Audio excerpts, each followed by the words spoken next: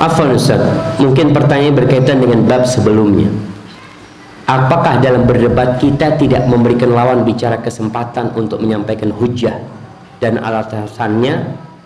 Kita tidak memberikan lawan bicara kesempatan untuk menyampaikan hujah dan alasannya termasuk dari adab yang diperbolehkan dalam berdebat. Karena anda lihat di YouTube beberapa pendakwa ketika berdebat tidak memberikan lawan bicaranya kesempatan untuk menyampaikan hujahnya. Ya bukan berdebat berarti jamaah. Itu ngasih tahu. Antum tahu. Debat itu kan tukar pendapat.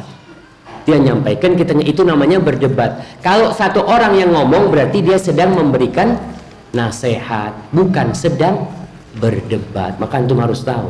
Jadi yang antum lihat di YouTube itu Ustadz sedang memberikan nasihat